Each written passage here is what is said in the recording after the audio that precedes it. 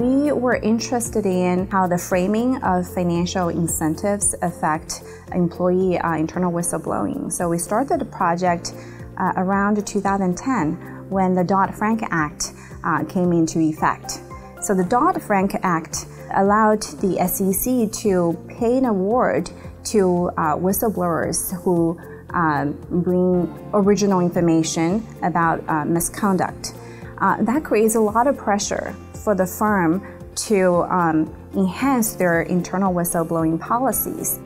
We find that firms are better off implementing uh, financial incentives framed as a penalty to induce internal whistleblowing. If employees perceive other employees would also blow the whistle in a similar situation, then employees really respond to the financial incentives.